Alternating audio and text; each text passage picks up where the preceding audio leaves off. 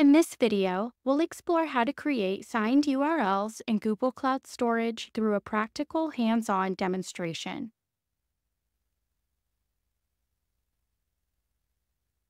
Further, we'll build a simple application that runs on Cloud Run to generate these cloud storage signed URLs. Our project has a straightforward design.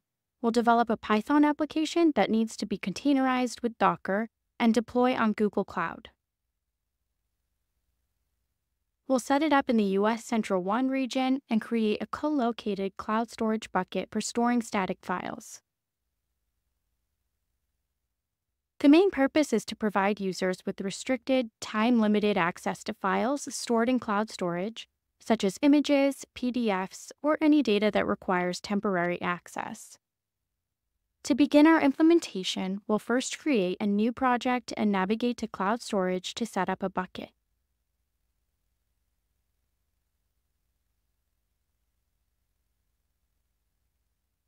For cost efficiency, we'll locate it in US Central 1 while keeping other settings at their defaults. An important security feature to know is that we'll keep public access prevention enabled and won't make the bucket public. This aligns with our goal of implementing a more controlled approach to file access. After creating the bucket, we'll use an example screenshot to demonstrate how to provide secure access to files.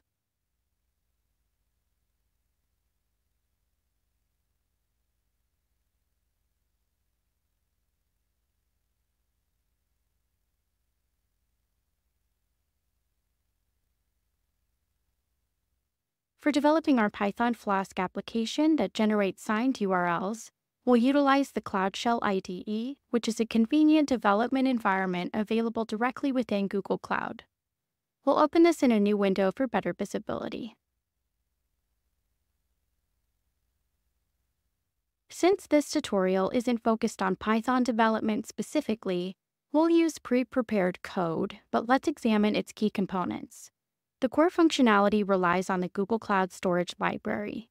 When users access our API endpoint, the application generates a signed URL for our item, called a blob, in the bucket. In our example, we'll work with the file named secret image PNG stored in a bucket called signed URLs demo. Beyond the URL generation code, we implement authentication using application default credentials. When deployed on Cloud Run, our application will operate under the permissions of our chosen service account. The setup of our application environment is straightforward. Our Docker file contains simple instructions. It installs the required packages, just Flask and the Google Cloud Storage Library, and configures the application to run. With these basics in place, our next step is to create an artifact registry repository where we'll store our Docker image before deploying it to Cloud Run. To maintain simplicity and optimize performance, we'll co-locate all our resources in the same region.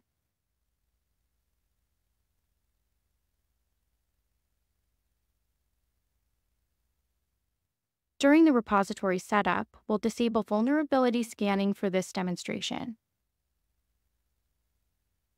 After creating the repository, we'll copy its path and build our Docker image.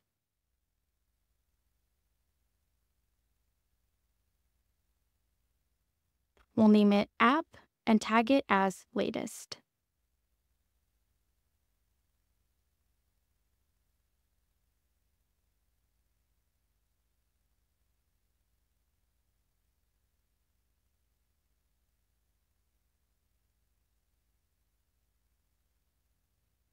After pushing the image to the artifact registry, we should see it appear in our repository with the latest tag. This brings us to the Cloud Run deployment phase.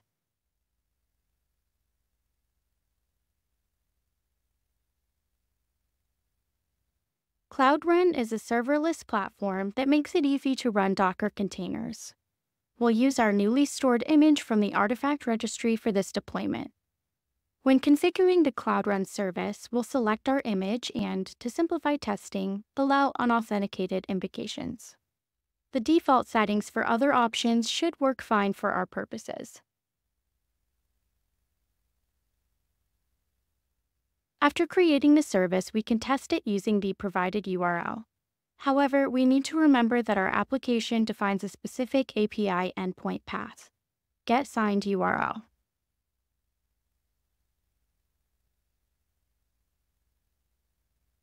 At this point, we encounter a permissions issue that needs addressing. Our service requires the IAM service account sign blob permission, which isn't included in the default Compute Engine service accounts permissions. To resolve this, we'll navigate to the IAM section and grant the necessary actions.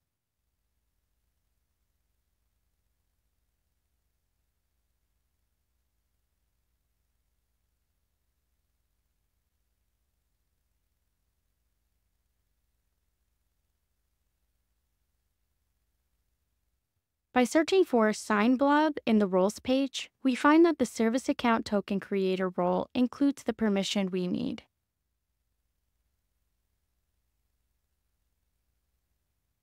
Regardless of the service account selection for your Cloud Run application, whether it's default or custom, you'll need to ensure it has this token creator role, which specifically includes the permission to sign blobs.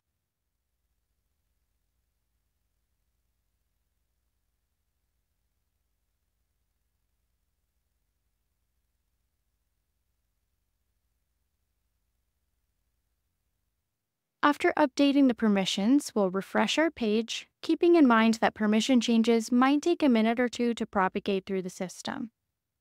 Once the changes take effect, we'll see our signed URL appear.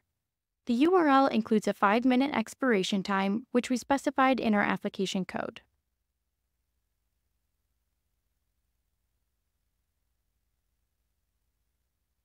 Let's test this URL to understand how the access control works.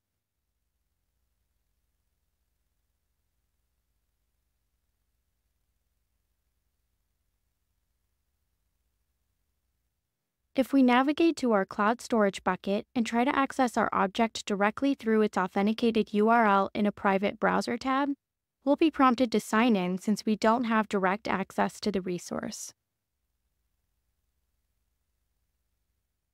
However, when we use our signed URL, we can successfully view the image of the Google Cloud logo.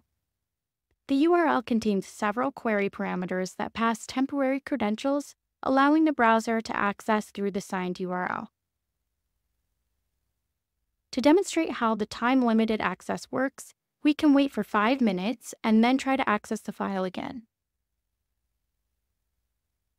After the 5-minute period expires, refreshing the page shows that our token has expired and the signature is no longer valid.